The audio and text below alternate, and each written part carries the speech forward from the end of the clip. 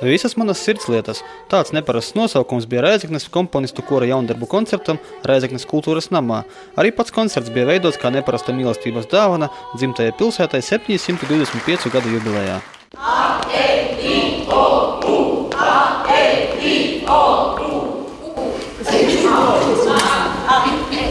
Tas, ko es Es esmu meitene. kas tev garšo? Man garšo saldējums. Viena maza turku pupa ceļoja uz Angliju.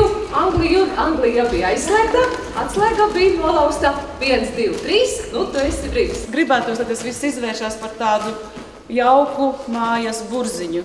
Ja atbrauc draugi, mēs satiekamies, mēs dziedam atsevišķi, mēs dziedam kopā, mēs daudz runājamies, mēs dalāmies savās emocijās. Un es ceru, ka mums tas arī šovakar izdosies. Pirmo reizi vienā koncertā tika pulcināti komponisti, kuru dzīve, darba gaitas vai mācību laiks saistās ar Rēzekni.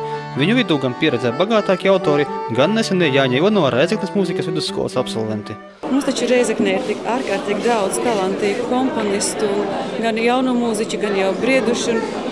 Un, par cik Reizeknē jubileja bija, ja tas bija jubilejas gads, tad es domāju, ka varētu taču katrs komponists uzdāvināt savai pilsētai dzimšanas dienā vienu skaistu dāvanu. Komponistu radītos kora darbus atskaņoja Jāņa Ivanova Rēzeknes mūzikas vidusskolas jauktais koris, jauktā kora meitiņu grupa un mūzikas skolas bērnu koris. Kā ciemiņi koncertā piedalījās pagājušajā gadā dibinātais Rīgas Latgales jauniešu koris Sono Juvenis.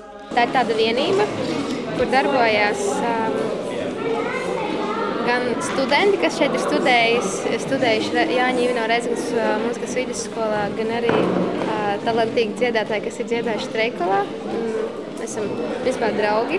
Un tā mēs apvienojamies un dziedam. Koncerta nosaukums Visas manas sirdslietas ņems no Ilonas Rupaines tāda paša nosaukuma dziesmas ar Māras Zālītes vārdiem. Arī pats koncerts ar režisoras Māras Zaļaiskalns un jauno mākslinieku palīdzību tika veidots kā mīļa sirdslietiņa, krāsains un līksms.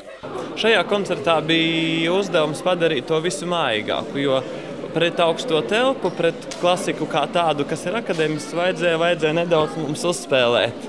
Nu, forši tā nav pirmā reize. Kādā krāsā ir šis koncerts?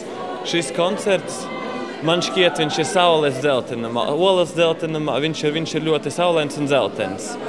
Smaidi dalībnieku un klausītāju sejās, vētraini aplausi un krēsainās papīra lidmašīnas, kas uzlidoja šī netradicionālā koncerta noslēgumā, vēlreiz apliecināja to, ka Rēzekne ir radoša un mīloša cilvēku pilsēta.